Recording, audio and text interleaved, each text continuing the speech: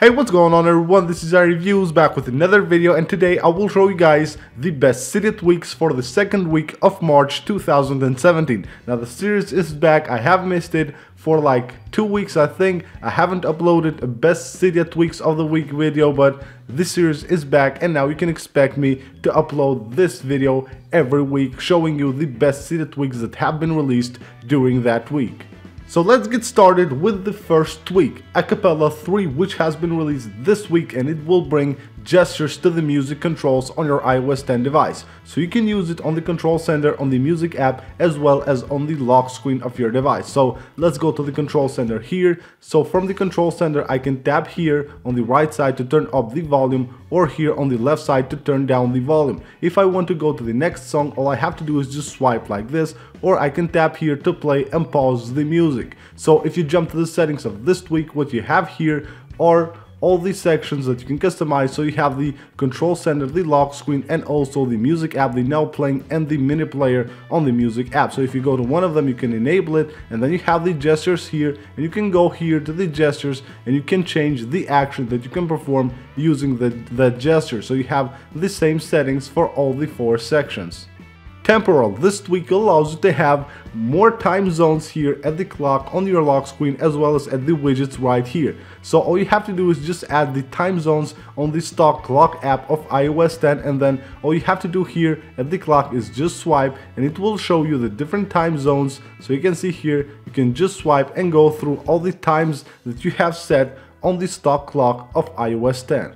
3D Color Changer 10. This is a pretty dope tweak which will change the colors of the 3D touch menus based on the color of the app's icons. You can see here a blue 3D touch menu based on the blue color of the weather app and if I go to the 3D touch menu of another app you can see it will have the same color as the color of the icon of that app. Let's jump to the settings of this tweak. So what we have here is an enable button for the tweak to enable or disable it and then here you can enable the border. You can auto detect the app's color and then you can set here the background color. Also you can change the colors for the label separators and also also the border color. And you can also set here the border width and also the app colors alpha with the slider right there.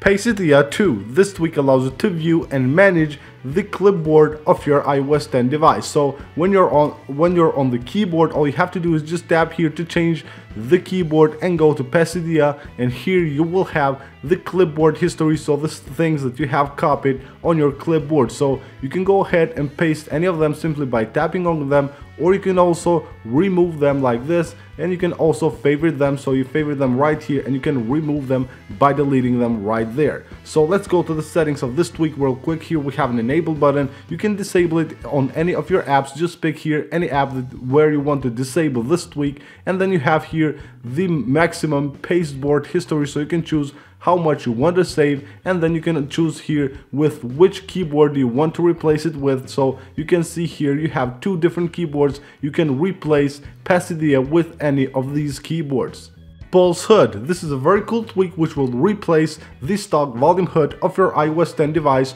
with this nice pulsing animation. So you can see here, when you turn up the volume all the way up, it will be green, but if you turn it down, you can see it will turn into red. So it's pretty cool. It has this nice animation and here under settings, you can enable it and you can choose here a pulse color so you can go here and pick any color that you want or you can set here red to green which means that it will apply that effect that you saw right there. So when the volume is down it will turn red. When the volume is up it will turn green. So that is it for this video guys, I hope you guys enjoyed it. For more videos make sure to subscribe if you haven't already. And also go ahead and leave a like on this video as it helps out a lot. And don't forget to follow me on my social media, you will find all the links in the description of the video.